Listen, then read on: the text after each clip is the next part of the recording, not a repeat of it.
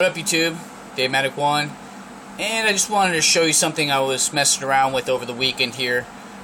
Uh, you guys remembered I just did a review on this Navy K631 which is a kind of a copy a copy of the a mixture between it's the exact same size as your Byrd Caracara only difference is, is uh, the this has a Spidey hole instead of the Byrd hole there and the Caracara does not have the added jimping over here but besides that same size same everything. So basically it's a navy knife and actually the fit and finish was pretty decent on this knife. Not a bad knife. It's priced either exactly as actually it's priced more it's more expensive if not right dead on well, actually no it's about the same price as a Caracara with the G10 on it. So it's kind of like well you might as well just get the Caracara instead of a copy of that. Uh, the only thing that may want that would make someone lean the other way is the fact that it's a Spidey hole instead of the Byrd hole that they got there. But anyway, uh, getting back to what I was going to let you guys know about, as you can see here, I did an acid wash finish on this blade here. I also went ahead and did the clip also with that. One of the things that I was thinking about is I wanted to add a backspacer to this, but unfortunately the only G10 I have sitting at my shop is a quarter inch thick and this would need to be 3 16ths.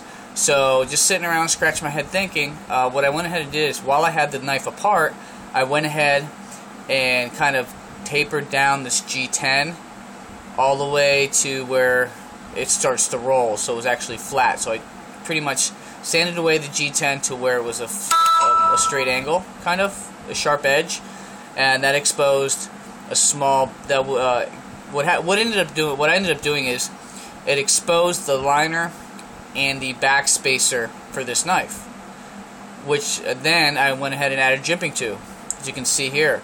Now these liners were not acid dipped so you can see there's you got your G10 you got that stainless satin finish on the liner you've got the acid wash or whatever. So there's a, it's a pretty good uh, contrast of colors between the black G10 uh, the satin liners the acid wash and then satin liner and G10. So it looked pretty cool. Actually looked even better uh, when I went ahead and added this jimping. Now this jimping isn't uh, is far from perfect.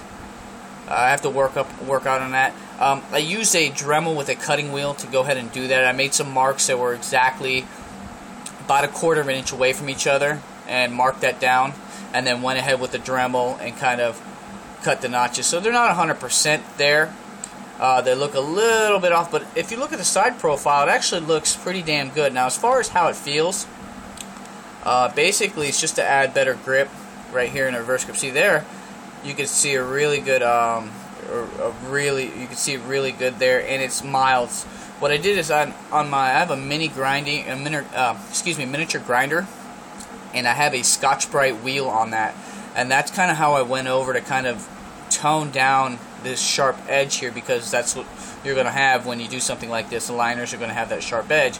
So I did that, and I was able to be very careful to do that without taking away any of the uh, acid wash on the actual backspacer. So pretty cool. What I'm thinking about doing is I'm going to probably redip this blade because there's um, there's some uh, mild marking that goes diagonal here, and there's a little scratch on this side. There's a little bit there and it's I only left it in for about 15 minutes, not long at all. So it took this is 440C, so um, 440C took the acid wash pretty good and pretty quick. I did have to resharpen this edge because it took the edge straight off, uh, which I kind of knew was going to happen because 440C doesn't really its edge retention isn't all that great. It's not bad, but it's not all that great. Uh, but you know it sharpens back up like in a heartbeat. So it's not much work to get it back to sharpening again. So sharpness again. So anyway, that's what I did here. Uh, and basically, what I'm to do is probably take this all back apart, redip, uh, redip the blade, and redip this backspacer. And what, when I redip this backspacer, before I do that, I will go, go back over and try to clean up my jimping right here to kind of make it more uniform and clean up the liners a little bit to make that more uniform and then doing the acid treatment there will kind of take away all the bright shininess from when the grinder is it'll make it more uniform and it'll add to even though I do think the fact that when you look at it like there in the contrasting colors there it's kind of The little blocks do look good. I think it'll look better with the acid, uh, the acid treatment all the way through in the uh, the grind marks there. But it'll give me an opportunity to clean this back up and make it a little better. Now, all in all, not a bad.